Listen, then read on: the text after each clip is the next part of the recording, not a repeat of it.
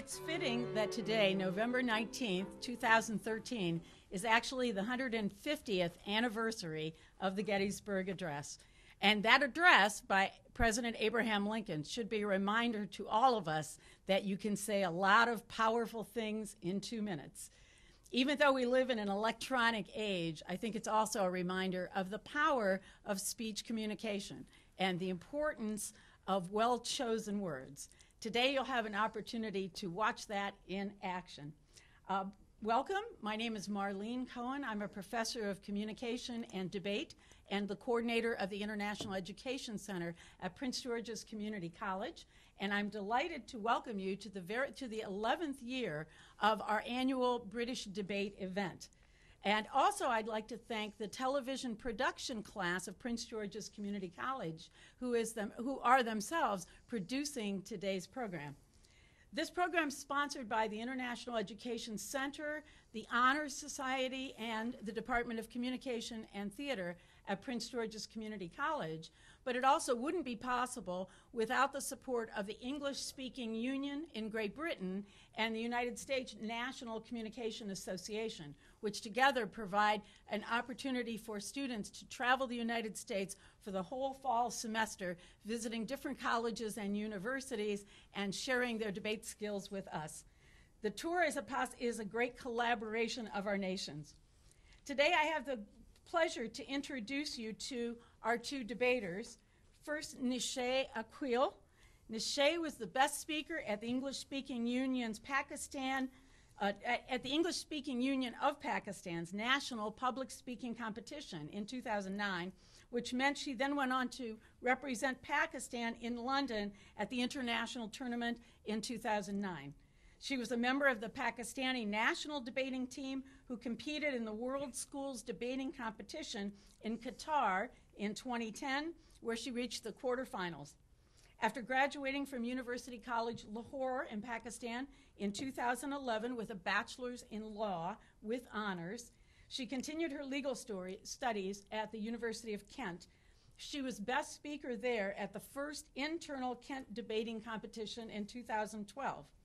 Following this, Nishay was, elect, was selected to represent the University of Kent at the Women, uh, Women Oxford Open and Imperial College. Is very excited to be on this e, uh, ESU American tour and got her first fleeting glimpse of the Capitol this morning, of the Capitol this morning as I whisked them away from Union Station. Welcome, Nishay. Thank you.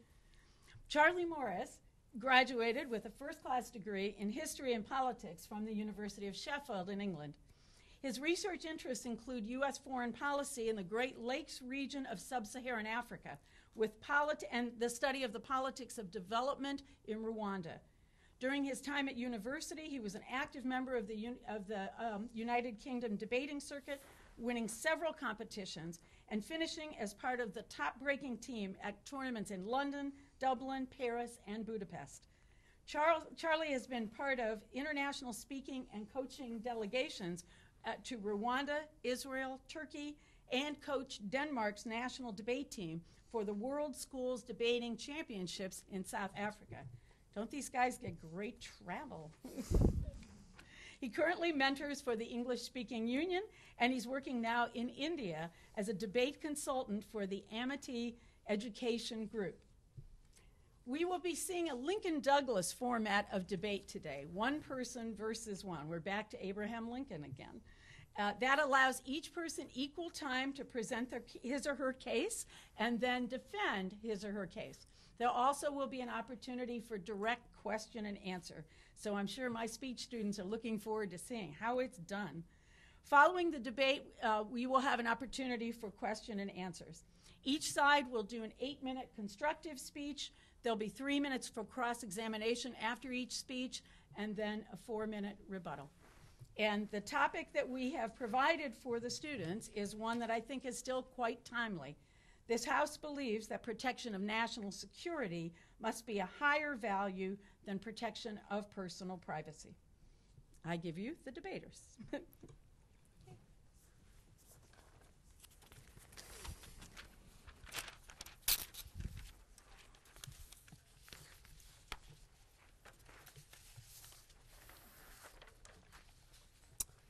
Edward Snowden is an American hero.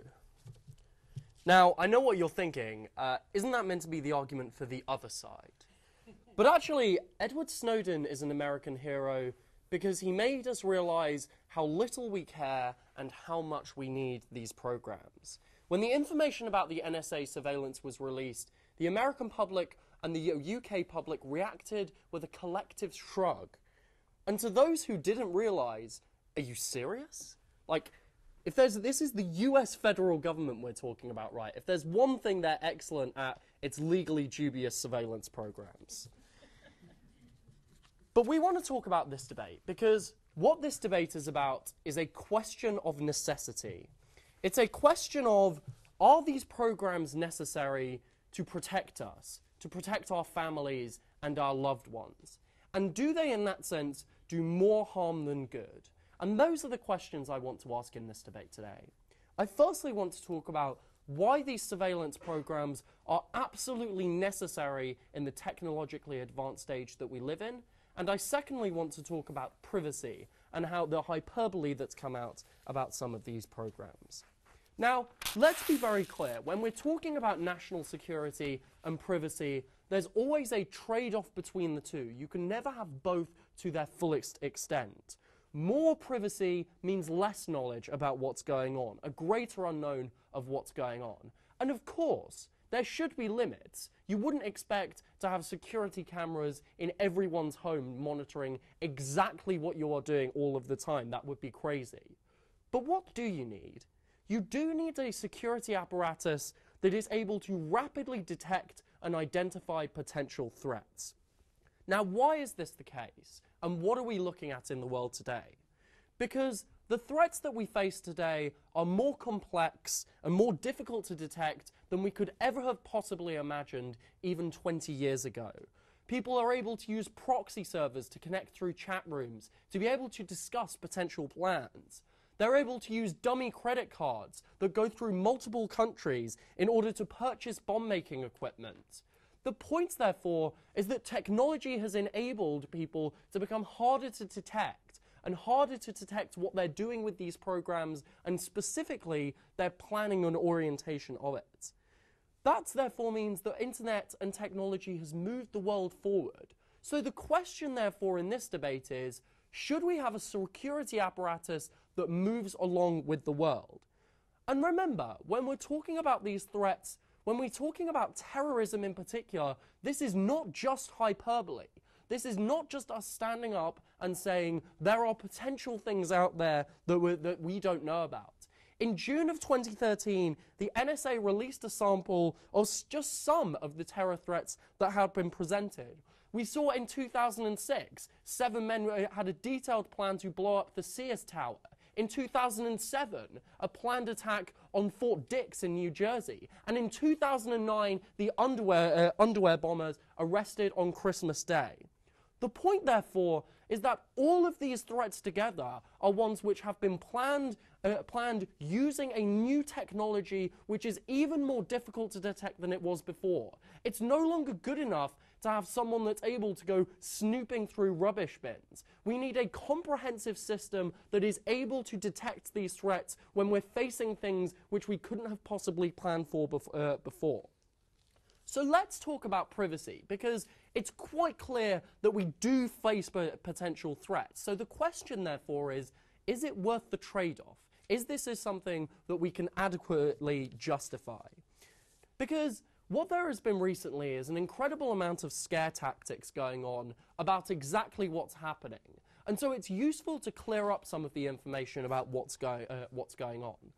First of all, it's quite clear that the NSA is not spying on everyone, right? It's just a matter of numbers for a start, that they simply can't. They don't have the manpower to be spying on everyone all of the time.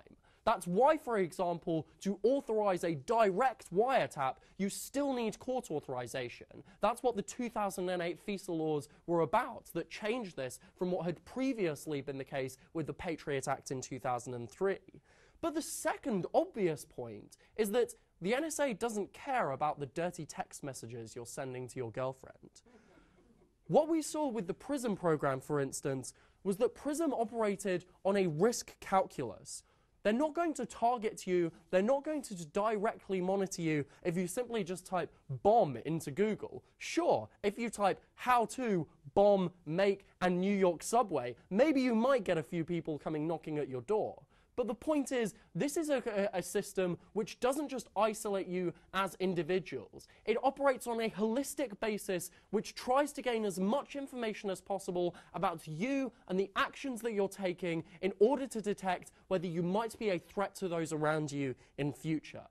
But it's important as well to clarify that this is not simply about the security of the past. We're not talking about McCarthyism or J. Edgar Hoover, where people are put into random interrogation rooms and whisked away without anyone notifying.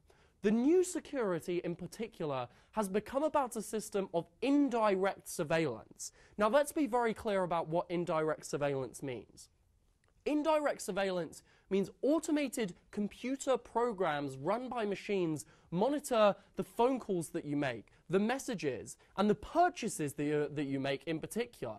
Note, at no point there is there direct human intervention. This is done by machines, right? These are machines that are able to automatically detect exactly what's happening. What does that mean? It means a lot of the things are actually better than the old days of what we used to have.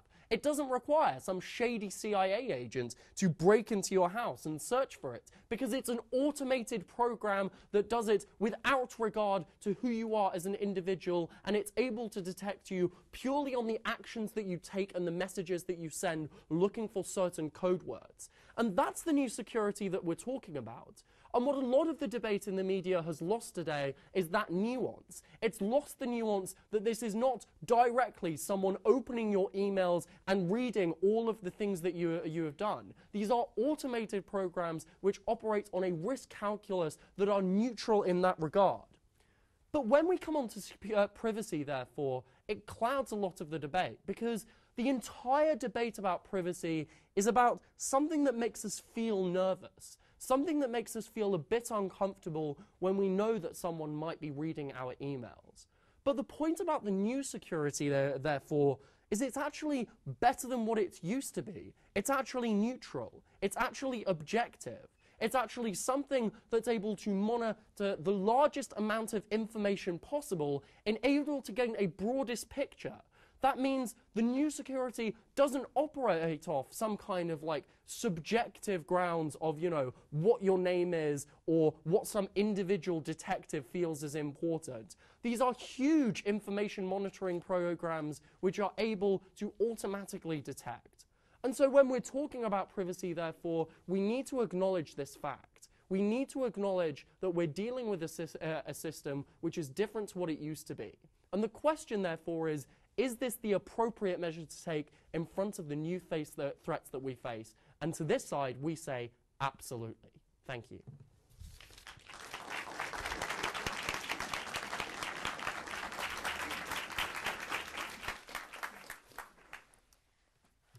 Um, for the cross-sex So it's interesting that you say that people reacted with a shrug when they found out that their own governments were spying on them. Do, do you think that there was any kind of grievance on the part of the citizens of the US or the UK? I think there was a particular grievance, but that grievance was because people misunderstood the type of surveillance systems that were happening. They thought it was NSA agents always reading their emails and exactly what they do without any kind of authorization. But the point is, it's not been like that. It's actually been a system where you do have to seek direct court authorization if you are to read particular emails, and you do, can't just monitor people because you feel like it. So, what kind of courts are we really talking about? So you're talking about courts that operate on a very, uh, various different level for, uh, uh, for depending on what type of authorization you'd like. If you simply want to re uh, read someone's emails, it requires a uh, lesser authorization from particular internal agents. If you want to wiretap entirely someone's house and install like cameras in there, probably needs a greater measure of authorization. So basically, the US Foreign Intelligence Court, which happens to be a secret court, one that is not open to public discourse, not open to public ideas. So basically, you're saying that even though you're spying on the public, the public has no way of accounting for it. So here's a question that goes in back. how effective would a court that is discussing issues of secret surveillance be if that court was open? See, that makes me frightened because your uh, entire idea is that you have surveillance, but there's still checks and balances in the form of courts. So there's some form of accountability and transparency, which means that people should not be scared. But then when you ask me that question, it's more of like it needs to be more secret.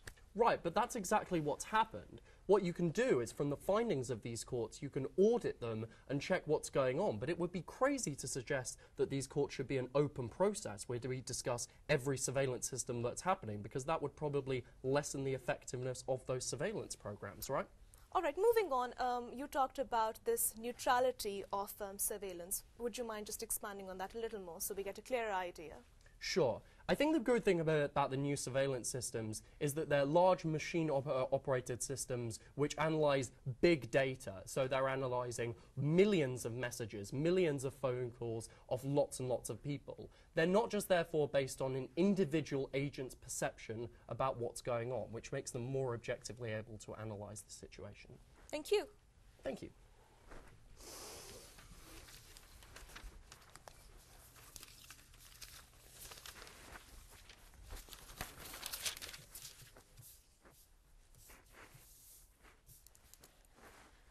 Ladies and gentlemen, of course, this is a debate about balances. Whether one is better or more valuable than the other, whether personal privacy should be given more weightage than security. But of course, this big question, this normative debate, needs to have some kind of footing in the real world.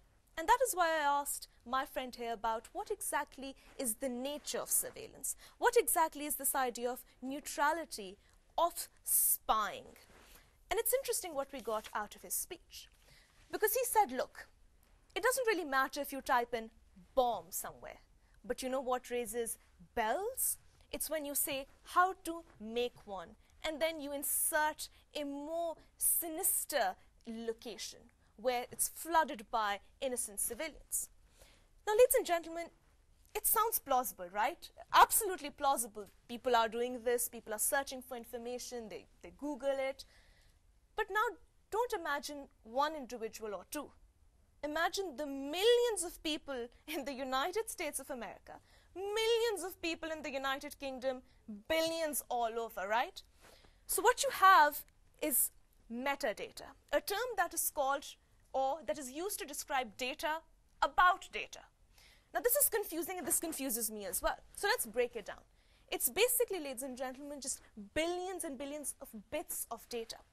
Now, what that means is that it is incredibly hard to then sift through that information in order to have some kind of valuable information as to who it is that you're targeting, where it is that he or she is operating from, where exactly will they strike, who are they working with, who is their commander, and what do we do? Now that's incredibly sophisticated, incredibly hard. And to that, my friend here said, you know what, it is hard, but we can do that with more manpower. And the question is, ladies and gentlemen, how much more? Because if you analyze the nature of the threat itself, that requires what? Speed, right? because you want to be there before the bomb explodes. That is the general idea of security. That is the general idea of spying on each and every citizen of the United States of America and the United Kingdom and the world over. So then my question is, ladies and gentlemen, of the efficacy of the project itself.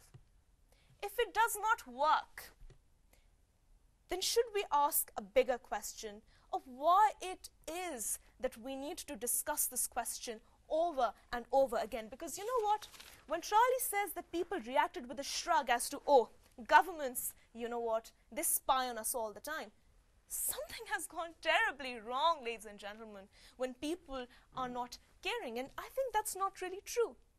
Because people are always frightened. People are very paranoid. It's where your mobile services, your Wi Fi providers, anybody and everybody involved in the system of communicating, of connecting people, are now under the surveillance or under the scope of the government itself. And this brings me to my three basic questions, ladies and gentlemen. Why exactly is it a dangerous notion? And within this, I'm talking to you about two things. One, the standard of relevance with which you are allowed authorization to spy on people. The second one, the system of accountability and transparency, and why it is essential to any state, particularly one that prides itself as the champion of democratic sensibilities and liberties. And finally, I'm going to talk to you about this normative idea of why it is essential that each and every individual feel safe and secure knowing that what they do in the private space of their home, school, universities, so on and so forth, is not being read by their government, ladies and gentlemen. You know what? When we say the government needs to stay out of our bedrooms, damn it, we mean it. So, the first one, ladies and gentlemen, this idea of it's a dangerous notion when you allow the government to spy on its people. And the first one, ladies and gentlemen, that I'm going to talk to you about is how the standard of for accepting the relevance of collecting information has become very low. Because the second any agency or the executive invokes the words terrorism, global th- threat, you know what, they're out there, that is enough. We think, ladies and gentlemen, something has gone terribly wrong when such big meta narratives are used to institute policies that are not only used to identify threats elsewhere, but now they're creating threats within your own people. Now you have made an enemy out of your own citizens, ones that you vowed to protect, ladies and gentlemen. That's wrong, right? But the second one, ladies and gentlemen, is this idea of how much leeway you give to the executive. How much more are you willing to give up for this elusive idea of security? Because I'm not sure how many people feel secure not knowing where the threat is coming from, how many attacks have been fended off, or whether or not your neighbor is somebody you need to be scared about. Because now these are the ideas that surround us, something that we become desensitized to. That in itself is a problem. But the second one, ladies and gentlemen, and this is a report that came out just yesterday, it's where the Director of National Intelligence releases the original script of the court order that, yes, allowed the NSA to spy on people. But what was the nature of this report? Because what this said was you can so on, so forth as you know the addresses of the people who are operating, that's fine. But never did it say that you can read the content. We think, ladies and gentlemen, that in itself shows the limited capability of the court. But what exactly is this court? And this is the question that I asked Charlie because this is immensely important. Courts have always been at the cornerstone of protecting freedoms because that is the check that you have on the executive. But if this court is a secret court, then what good does it to the public who are number one, the stakeholders in this debate in this time, ladies and gentlemen. We think that not only is it a secret court, it is closed to the public. Though proceedings are recorded, you will never hear of them unless Edward Snowden tells you that something has happened or if, you know what, he tweets about it, much like Kim Kardashian does. Who wouldn't want that? And so I ask you, ladies and gentlemen, if it relates to you, don't you have a right then to know what the government does with the information that it has? Because it's easy to just use the denominator of, oh, the government doesn't really care about what kind of dirty texts you send to your, to your girlfriend or your boyfriend. But the concept is greater than that. It is bigger than that. And that is what I posit to you today. Because, ladies and gentlemen, what I'm going to tell you is that in the world of today, when you have these two values, you need to assess them on their own merits as much as you need to do in the context of the real world. Security has always been a reactionary value, one that develops when you think that liberties are under attack. Liberty, ladies and gentlemen, freedom, privacy have always been the cornerstones of any society that prides itself in thinking that we are a civilized society. One that says that when we create the government, when we move away from this Hobbesian idea of the Leviathan, this big, scary executive leader standing there monitoring everybody and then doing away with people they thought were threats, we moved away from that, right? We moved away from that kind of narrative when we said we don't want that kind of Im- imposition of power, that kind of a government. We wanted more involvement. We wanted more information and we wanted more security, not from external threats, but the big internal one that's staring us right in the face. Ladies and gentlemen, it's not your neighbor. Today it's the government. Thank you.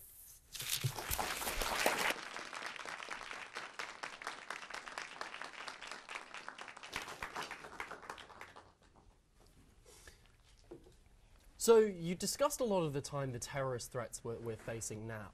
Would you say that terrorist threats have got significantly more advanced in the past decade? Yes, they have, which means that they're, not really using their email addresses. They're hiding in caves where there is no such signal. And so, if you're saying that you will use more surveillance, then I suggest that if they become smarter, then the efficacy of the program fails entirely. But we're not really worried about those hiding in caves because they're the ones that aren't in the United States. So, the ones that are in the United States that probably do have access to a computer, how do we detect those? First of all, ladies and gentlemen, I posit to you this as time progresses, technology becomes, you know, what's smarter, and so do individuals who want to use them.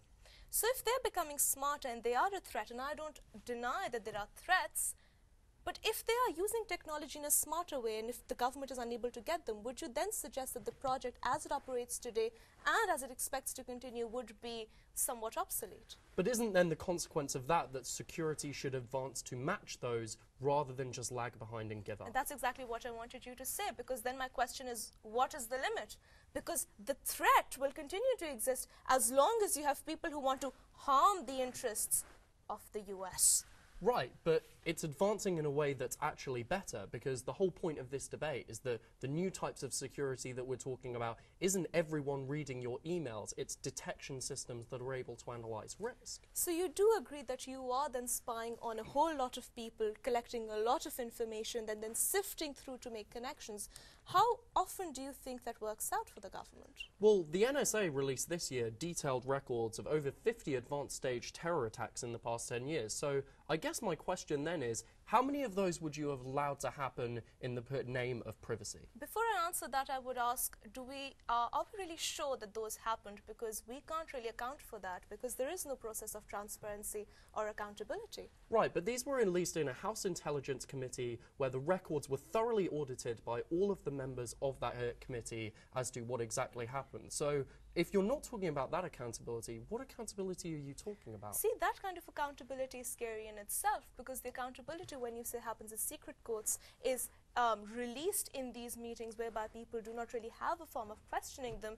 That is scary in itself. But if you ask me that threats exist, I'm going to I'm going to say yes, they do. And if the answer is that they're going to continue to exist, the answer is yes in itself. But then my question is, will the government then allow this to persist? It will get even harsher. And so it's not just about then the email addresses and content, but something which is much more sinister. Right, but then you talked about the secret courts, so the question is would you allow the proceedings of the secret courts to be open? Absolutely, if they're open, if there are greater checks and transparency, if people can question them, air the grievances, and then have their say in shutting the programs down if they so wish, then that is a step forward. Will it happen? I don't think so. That's why we're having the debate. Great, thank you. Thanks. So I think there are two broad questions in this debate that we have to ask. The first thing we have to ask is, what are the kind of security threats we face at the moment, and are these programs really necessary to protect against them? And the second question we have to ask is, what are the accountability mechanisms over these types of security programs, and do the public have a right to say in the types of monitoring that occurs? So first of all, let's talk about the security threats, because one of the main questions that we've heard on the heard by the opposing speaker is that actually these programs aren't really that ne- that necessary, right? Terrorists are really smart. They're hiding in caves. They don't really use emails and stuff like that. Um, I posit to you that terrorists do probably use the internet. They do probably use phone calls. Otherwise, they'd be incredibly ineffective at what they do. But what they do is they don't just simply use emails or phone calls. They use proxy servers in order to hide their IP addresses. They route phone calls through a number of countries, which makes it difficult to detect where exactly that phone call is coming from. Obviously, they don't just go onto Gmail and send a message going, hey buddy, are we bombing the Golden Gate Bridge here on this day? That's obviously not what they do.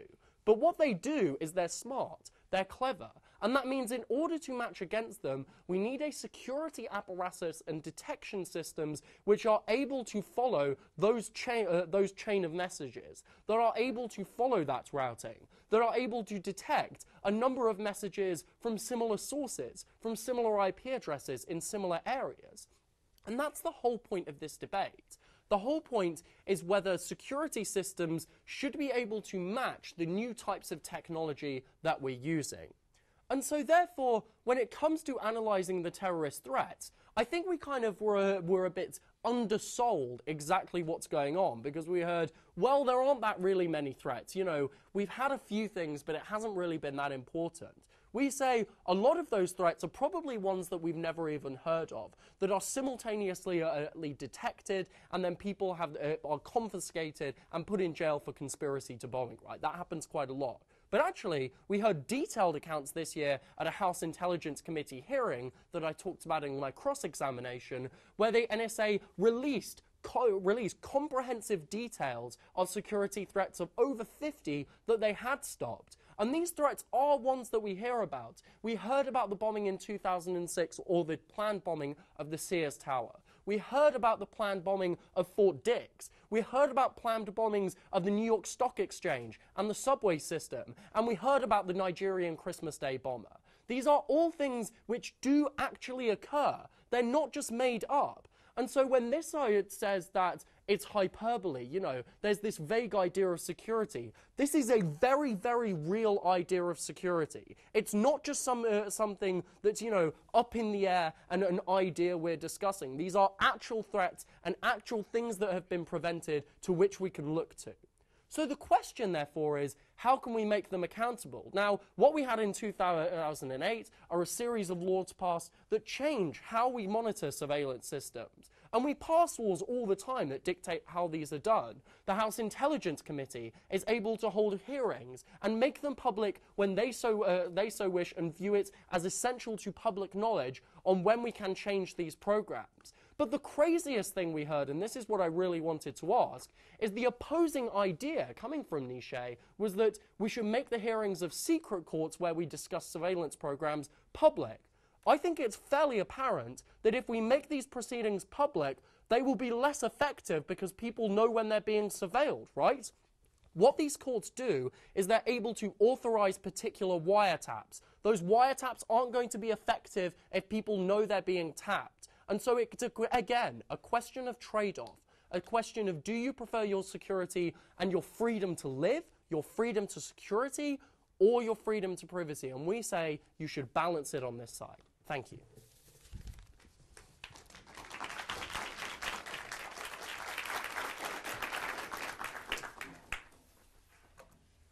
After all of this, I think, I think to myself, wouldn't it be nice if terrorists used Facebook?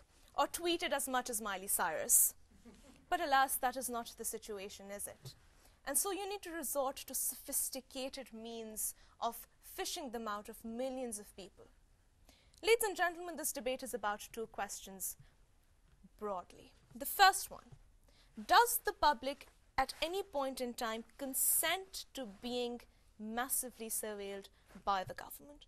And the second one is this idea of how far will the people allow their government to go for this promised elusive idea of security.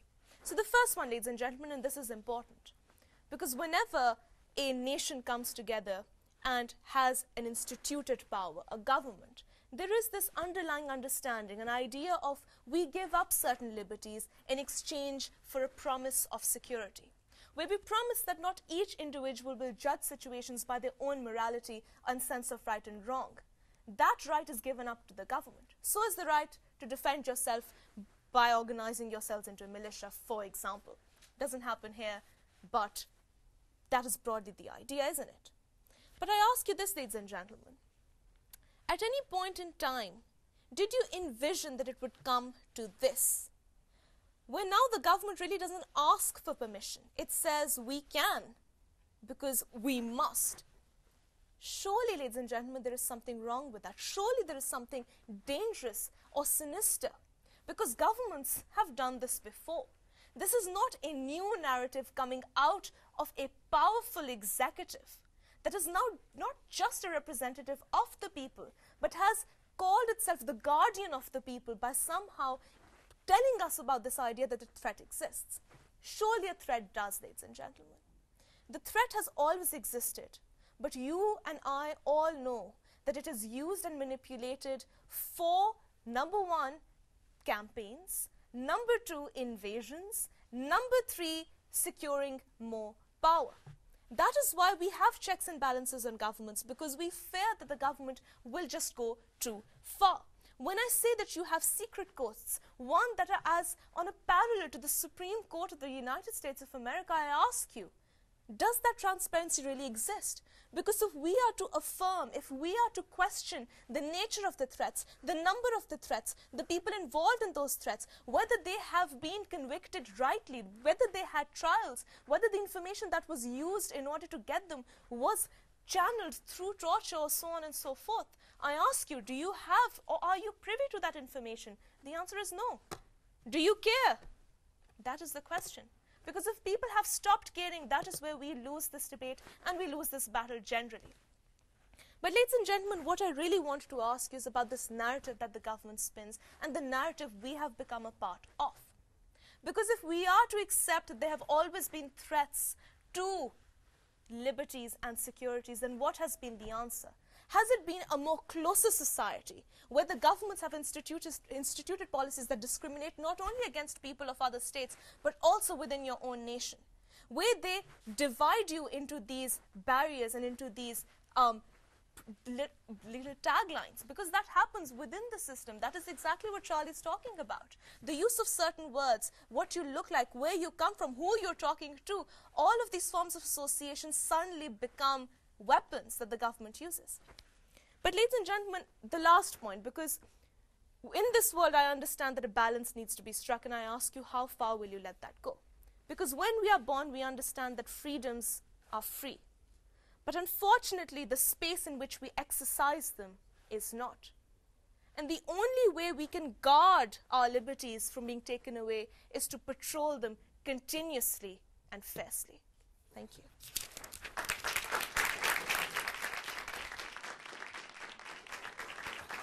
Thank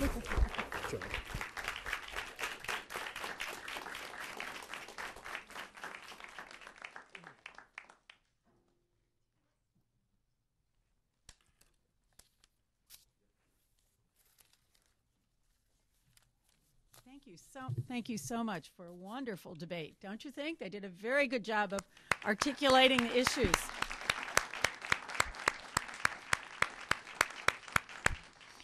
If you wouldn't mind bringing in the microphone while we have a chance for the audience to make comments or ask questions. So we'd be happy to hear from you. We'd just like you to talk into the microphone if you would.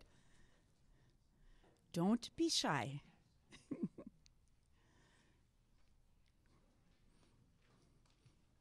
Sure.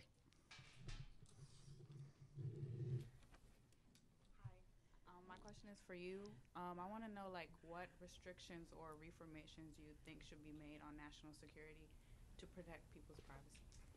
I think in any point in time, since we are all always talking about a balance, I understand that there will be some form of surveillance that is on the people. But I suggest that the checks and balances, the first step would be moving away from this idea of super secrecy that exists not only within the processes but within the court system itself.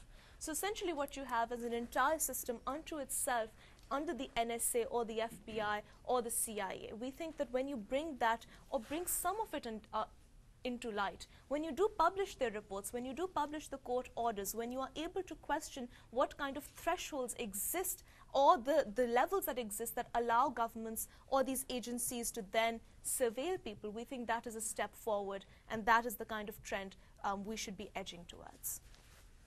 Um, I have a question for you. Don't you think uh, revealing a secret court would be counterproductive? See, That's the Number one. argument you want? Yes. Yes. Thank you for making a case for Charlie. um, yes, in some sense, yes. But the question is, when do these court orders really take place? Because the court order doesn't really talk about, oh, this is the individual we're talking about, this is the nature of the threat. More often than not, court orders discuss the kind of powers that are granted to agencies, which is broadly in terms of what, what kind of people can you have surveillance on? What methods can you use? What kind of information can you use? Can you read the content? Can you have access to their content? So on and so forth. So, more often than not, it doesn't relate to particulars about individuals or about particular threats happening at that point in time. Rather, it's discussing the extent of power or those policies. I think those will not be counterproductive to any secret mission that is happening or hamper a threat from being countered at the point in time. The basic idea is the scope of powers that are being discussed, the tug of war between the courts and these agencies and the executive. That is the kind of policy that people need to have access to and people start need to questioning.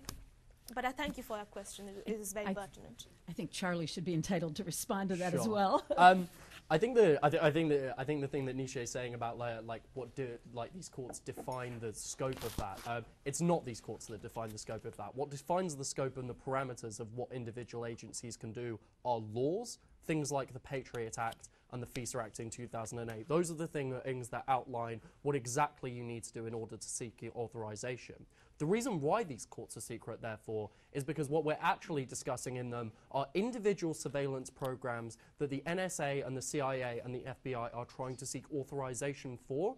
The point is, they can't make them open because if they were to make them open, people would realize pretty quickly that they're being surveilled and wouldn't use that phone that they're, they're using now to get that. You, of course, need to make certain courts secret. So when we have the open debate, the open debate should incur over the discussion of the laws. The Patriot Act wasn't secret. Everyone knew about the Patriot Act. Everyone knew exactly what it authorized. We can have a discussion about security, we just can't have a discussion about the individual details of it because it would make it pretty ineffective.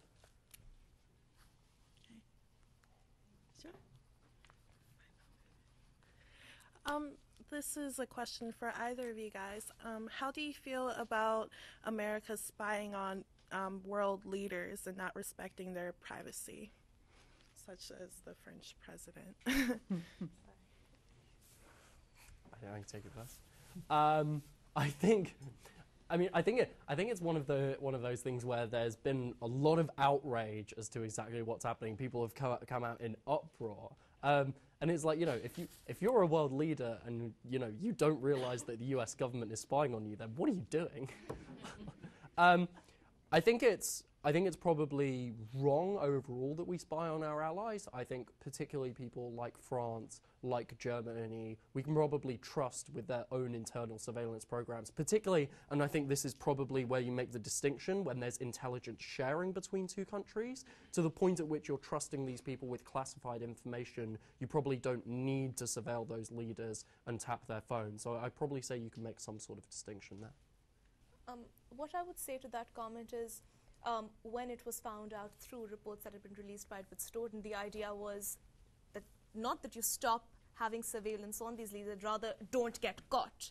And that is the problem I have with the narrative um, in general, because, uh, and I agree with what Charlie has said, when you have um, allies, particularly when you're dealing with sensitive information, there is intelligence exchange, um, there is less need to, be, to have spying, because one, it creates mistrust between those two parties, but generally you have again this idea of um, agencies operating within the government that do not really fall under the scope of um, of any kind um, of, of check and balance. And if I can go back um, and talk, I, I know I'm being a little unfair, talk a little bit, a bit about the um, uh, Patriot Act, so on and so forth.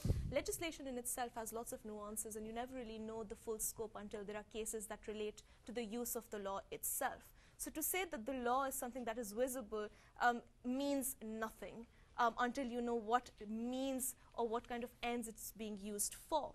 And so I think that's more important. Also, you need these codes because it's not just the operation of the law, but also how these executive orders um, operate. And that is why I think that there needs to be greater check and balances. Sorry for um, moving a bit a bit away from the um, question at hand. Uh, We did not allow the audience a chance to vote. Forgive me. Before we do any more questions, I would like to do that. So I want you to think about where you would uh, put the higher value. Would you vote in, in terms of national security being a higher value than personal privacy or the reverse? So let me ask first those who would vote believing that national security is a higher value and voting for Charlie. May I see a show of hands? All right, and those who would vote for protection of private pri- uh, privacy and vote for Niche. Ooh, it's very. I've got one behind the close. camera. Ooh, you've got a cameraman on your side. I think it goes to Charlie, but I think it's quite close, isn't it? Good for you for having such a balanced debate.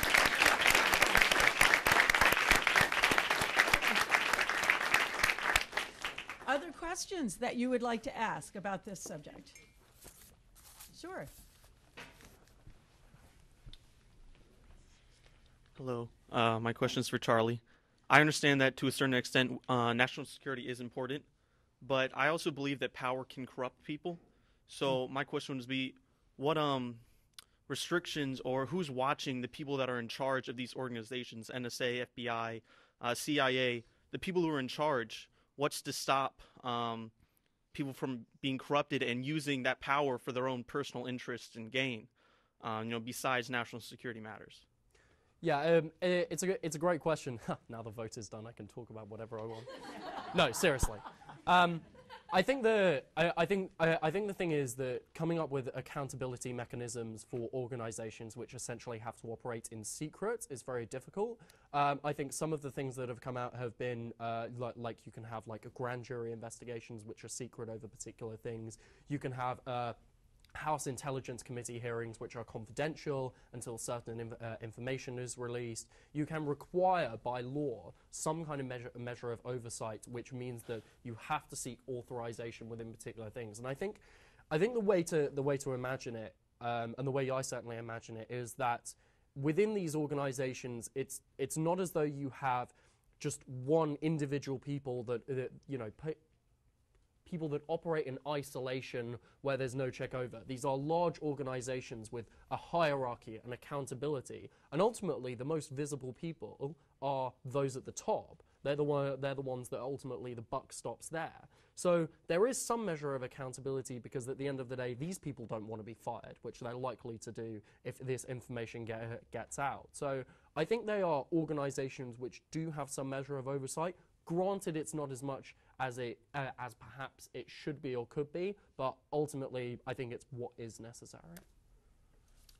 Other thoughts you have about oversight that would be helpful?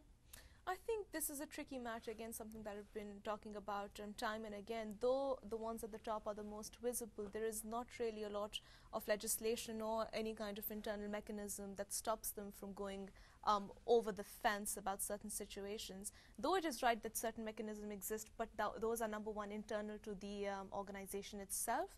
And if they're internal, then they have their own courts, they have their own people judging them by the standard that has been but, but set by them. So I think it is a very convoluted system that does little for transparency. Thanks. And I think that uh, ju- ju- ju- uh, just on that as well, I think one of the one of the most misunderstood things about the Edward Snowden case was that Edward Snowden rele- released his information, and then like the government persecuted him because he was releasing information about about these security programs. It's not true. Like there are whistleblowing like structures within place in the NSA and the CIA uh, by which you can release information. But the point about Edward Snowden was that he didn't go through these me- these mechanisms. He just phoned up the Guardian and went, "Hey, I've got a load of uh, like information about this. Want it?" Um, and I think that that's the key point. So I think we should have good whistleblowing programs for when there are situations which you know accountability mechanisms can't deal with, but people shouldn't just go and leak information to the media just because they want to become popular. Other questions on the subject? Actually, Charlie, you've uh, caused me to have two questions. Um, one of, uh, to your immediate remark, one of the things that the Obama administration has been doing is using the Espionage Act more often than any president's for all the years that the Espionage Act has existed. So, can you comment on how the whistleblowing process is secure when the government is increasingly aggressive toward uh, people who do blow whistles? Um, yeah, I think it's I think it's increasingly becoming a widely recognized fact that perhaps the Obama administration isn't quite as open about a lot of the a lot of the things that happen in their government as you know their lovely blue pictures on WhiteHouse.gov would love to have you believe.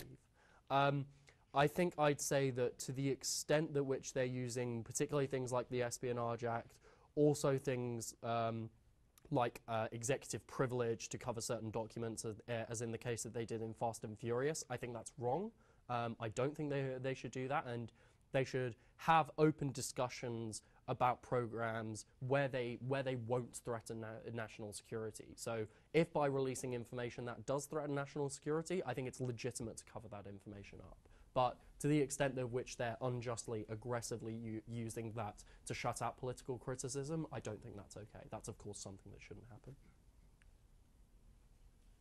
Did you want to ask a second question? If we look, uh, going back, say, to the end of World War II and uh, the beginning of the Cold War, the need for classification of information has grown and grown and grown, and this and the justification for this, of course, is that uh, we must be secure. And to the extent, to that extent, we've we've had plenty of revelations about our government classifying just about anything, and uh, and now we continue to have this argument about the need for uh, more secrecy, more. Where, uh, in other words, where do we see this process ending? This is one of the arguments I think you made. There, it seems to be open-ended, and if we look back a long way, do you have any comments to make on that? Um, I think I, I think I guess there's kind of two areas then. I think the first area is saying that in an age where there is simply more communication and more complex forms of communication, it's only necessary that like look like in a, eh, as in, in quantifiable terms more information will need to be classified because things aren't as simple diplomatic relations aren't simple as you know one agent going and meeting another and like talking in code words that's not what like diplomacy is about now. So I think like there is, and perhaps rightfully, an increasing trend of information being classified. To the extent that it's something that has been, you know, starting, you know, starting with Hoover, increasing through the Cold War, and perhaps not ending. I'm, I'm not necessarily sure I agree that it's an open-ended thing that will always be increasing because I think it is something that's dependent on certain administrations and their particular policies over what needs to be uh, like what needs to be classified, what they view as needing to be classified. I think that's different to analyze purely because you have like quite a small sample size of precedents since the end of the Cold War. Um, but again, something which I think is an interesting topic to look at. Add to that? Um, I mean, I would disagree. The idea that a government can keep it as open-ended as they have been is um, a, weapon in their um, armory because that is their go-to narrative. When anything happens and they want to get something passed really quickly, rather expediently, um, going over any kind of form of, of, of check or balance, they'll say, you know what, we have threats and we need to do it now. That's how the Patriot Act was passed in, in record time. Um, and, and similar legislation in the UK and the US that took away liberties that you know the, the US um, Constitution and the US nation was found on. And that's my question for today. That's my question that has been throughout and will be for the ages. It's at what point do you really stop? Because if that, and if you recognize that's the go to story of the government, something that they've been using and exploiting for quite some time, then it'll, it won't stop. I don't think it would. It would just get more sinister, something that nobody would really know about, given this um, idea of secrecy that we guard um, rather closely, which is um, rather disturbing. Thank you. We're going to transition our conversation now because I think it's a great opportunity to ask two visitors who've been traveling through the United States for two months. Is that correct at this point? Just a over little one and a over half. one and a half months. Over one and a half months, and they've been to 25 schools because I would say the National Communication Association is keeping you quite busy this year. So I think it's an interesting opportunity for us to ask some questions about the perspective of people from the UK and from Pakistan about what they're seeing uh, in their travels. So I'd like to lead that off, and you're welcome to add other questions to that. I want to pose the questions of what were the things that have stood stood out for you in your visit as perhaps you know wow i just wouldn't see this back home Um, I mean, The, I the portions? yeah, Let's start with the basics now. yeah. I think I think the the biggest example is like food. The, f- You the to, food. You have to explain that. the food, I mean, the portions are enormous. You need to understand, when I first saw my steak, I thought it was for everybody on the table. it was, it couldn't possibly be for me. And then the idea of having your drinks being refilled, that was an anomaly. I was just like, why would you do that? That was just interesting. Um, like, I don't have to pay for this again. Um, so that is one of the basic things. But on a more profound note, something that has been um, really important, and Charlie and I often discuss this. Whenever you're going to a, a particular country, you know that people are going to be different. It's not going to be the same as you've heard. But the contrast has been so stark, particularly when you go from state to state or even different regions within a state. Everybody's idea of what the American life is and what it means to be American is so different. It's so interesting because it's you, you get this widespread of people, and it's just also the um, the, the warmth with which um, we've been entertained, um, and just their spirit of wanting us, wanting to show us the best. Um, I think it was just it's it has been overwhelming. It's just overwhelming all the time. It's tiring. Any, anything else you'd like to add? Um, I mean, I can I can safely say that you know France has tried to compete somewhat, but there's there's nothing like Disneyland. um, that was that was absolutely Quite so. extraordinary. that was what wonderful. A very surprising comment.